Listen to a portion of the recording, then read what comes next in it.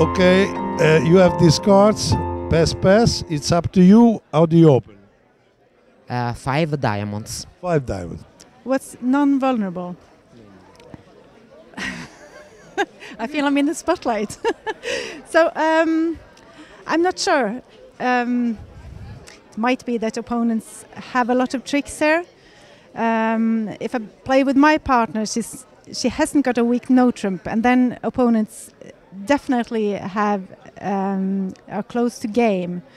Um, but um, I guess I'm not playing with my own partner. No, no, Um, you're uh, playing with me.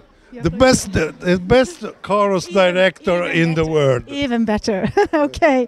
Uh, let's see. Um, I think uh, I would open um, five diamonds. Five diamonds. Five diamonds, I bet. Okay. Ten points.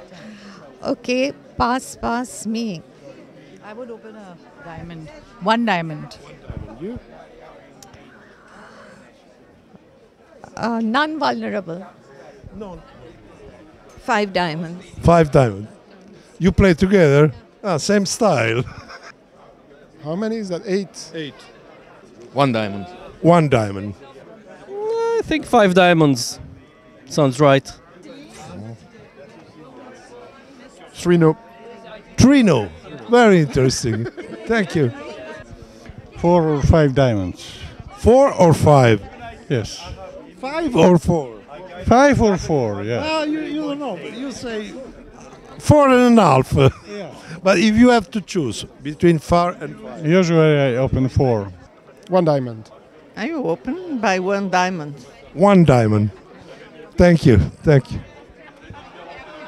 We have a special guest today, Antonio Sementa, not playing in this Bermuda Bowl, but still one of the best players in the world. So we went to ask him, you have these cards, and the bids go pass, pass, non-vulnerable. How do you open?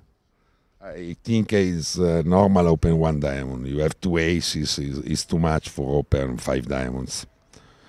Two aces, too much to open? Yeah, I think so. Uh, is the other possibility to open is five diamond? Yes, but I think it's normal open one diamond. One diamond. Thank you. Thank you.